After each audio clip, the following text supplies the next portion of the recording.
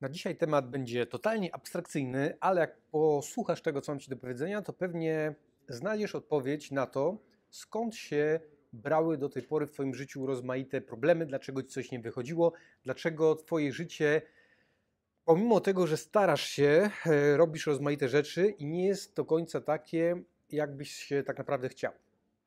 I dla niektórych może to podchodzić pod jakąś ezoterykę, magię, to wszystko, o czym Ci mówię, to nie są żadne czary mary, tylko to jest nauka.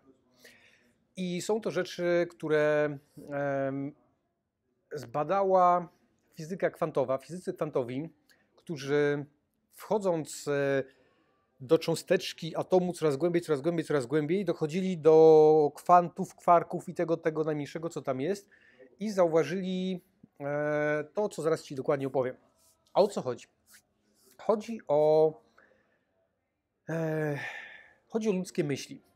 I chodzi o sprawcze działanie myśli na rzeczywistość. Uuu, czary mary. Okej. Mm. Zastanawiam się, jak ci to delikatnie wytłumaczyć, żeby, żeby to było zrozumiałe, a żeby nie został wyklęty przez Kościół. E, dobra, może trochę pojechałem. Może za to, co zaraz powiem, z 500 lat temu by mnie spalili na stosie, a dzisiaj niekoniecznie. E, w wielkim skrócie, myśli tworzą rzeczywistość. Co to znaczy? Najpierw inaczej jeszcze. Człowiek codziennie, ty codziennie masz 60 do 70 tysięcy rozmaitych myśli. I 90, ponad 90% tych myśli, codziennie ci się te myśli powtarzają. Codziennie myślisz o tych samych rzeczach. O tym, co ci się wydarzyło w przeszłości, o tym, kto ci coś powiedział, o tym, jaki masz tam problem do załatwienia. I to wszystko, 70 tysięcy myśli, codziennie generuje, tworzy ciebie jako człowieka to te myśli tworzą ciebie jako człowieka i to te myśli tworzą twoje otoczenie. Dlaczego? Dlatego, że um, najpierw by się trzeba było przyjrzeć, e, czemu, o czym ty dokładnie myślisz, a możesz wziąć kartkę papieru i sobie po prostu zacząć spisywać, o czym ty myślisz. I zobaczysz, na ile tam są rzeczy pozytywne, a na ile są rzeczy, które ciebie blokują, na ile są właśnie rzeczy negatywne, że coś może nie jest dla ciebie, że ty jesteś, e, czegoś tam nie jesteś wart, E, myślenie na temat tego, co inni sobie o tobie myślą, to wszystko krąży w twojej głowie latami i latami te myśli się powtarzają i tworzą to, co ty teraz masz, czego nie masz, kim jesteś, co o sobie myślisz, co inni o tobie myślą, to się wszystko bierze z myśli. A myśli, myślokształty, to wszystko to jest wibracja, to wszystko to jest energia.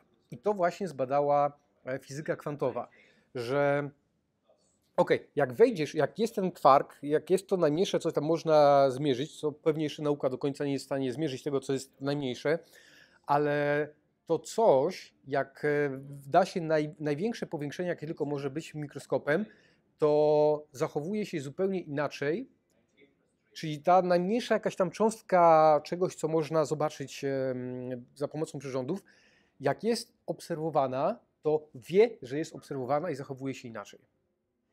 Co to jest materia, więc ta materia to formalnie nie powinna wpływać, e, jej, jej zachowanie nie, nie powinno zależeć od tego, że ktoś coś sobie o niej pomyśli albo że na nią po prostu popatrzy, ale wpływa i to fizyka kwantowa zbadała.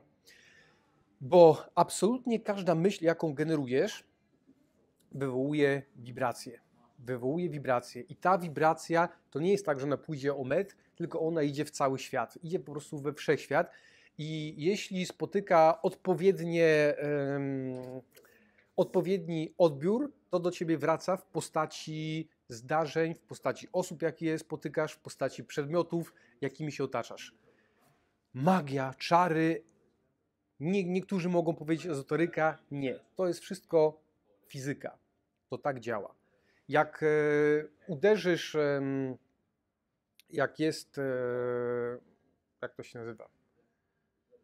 No dobrze, to powiedzmy, e, bo nie wiem jak to się nazywa, bęben, nie bęben, ale jest taka tarcza i w tą tarczę jak się uderzy, to powoduje, jest dźwięk. Powiedzmy o dzwon, niech będzie dzwon. Jak się w dzwon uderzy, to powstaje dźwięk.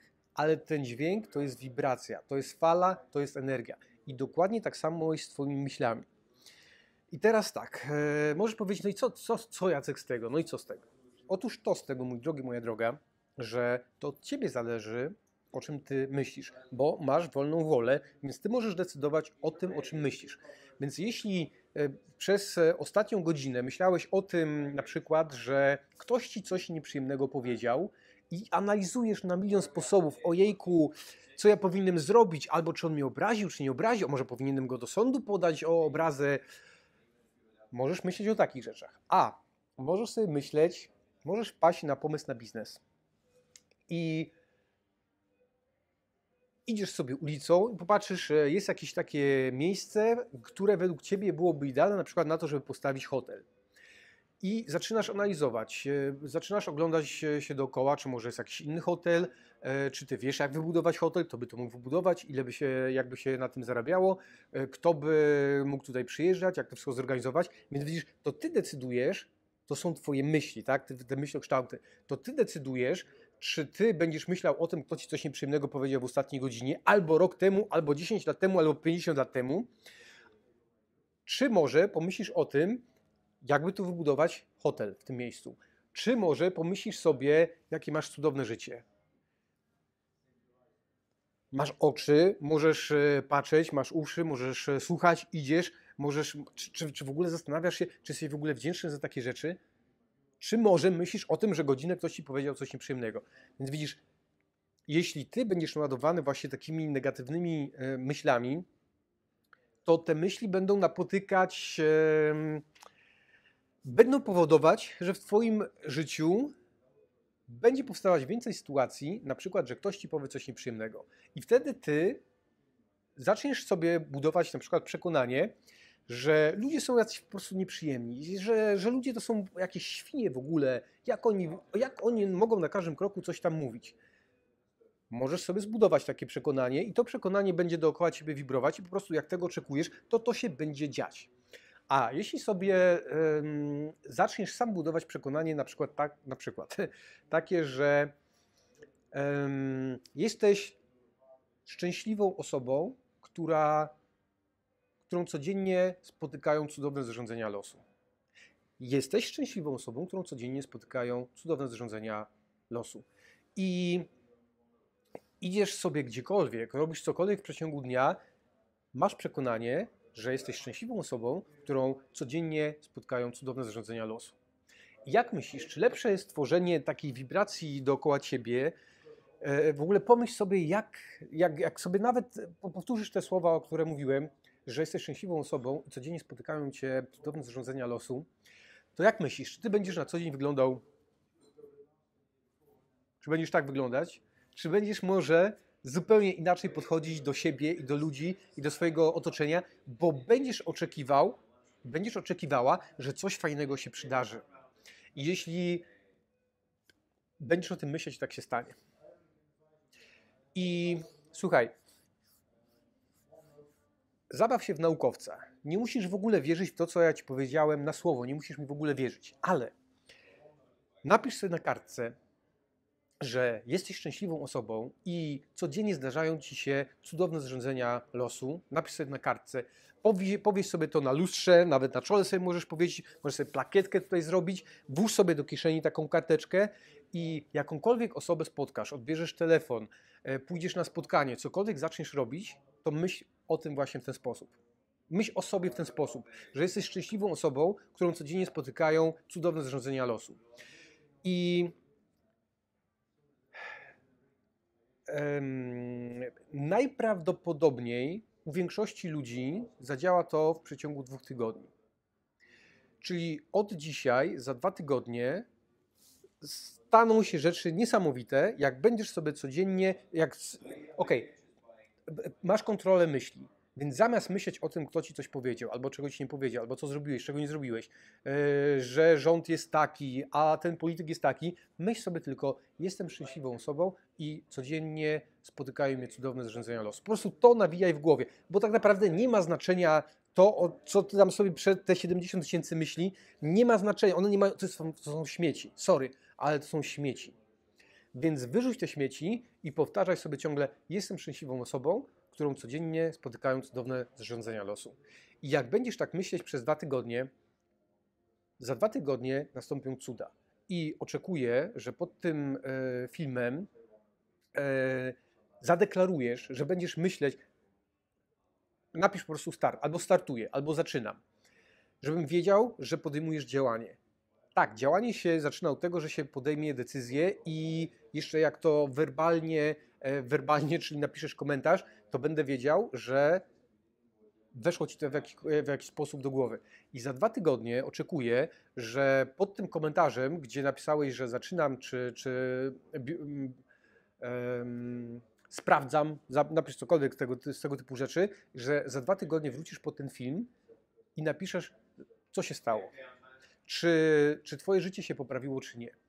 A teraz e, je, e, możemy pójść trochę dalej, bo ja tu mówię te- teraz tylko o dwóch tygodniach. A teraz co będzie, jak będziesz w ten sposób myśleć nie przez dwa tygodnie, ale przez miesiąc, przez dwa, przez rok, przez 10 lat, do końca swojego życia.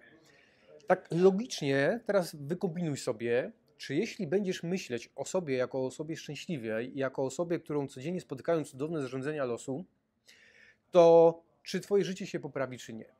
I od razu wywal teraz z głowy negatywne myśli, które mogą ci się nasunąć, bo do tej pory byłeś przyzwyczajony albo nauczony czy nauczona do tego, żeby myśleć w negatywny sposób na temat tego, co inni mówią.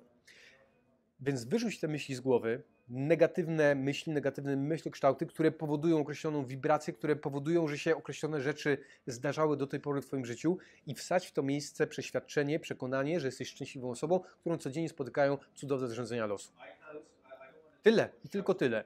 I za dwa tygodnie oczekuję, że napiszesz, co się wydarzyło. Tylko to, to trzeba robić. Zamień 70 tysięcy bezsensownych myśli w jedno proste zdanie, które sobie możesz powtarzać od rana do wieczora, idąc spać.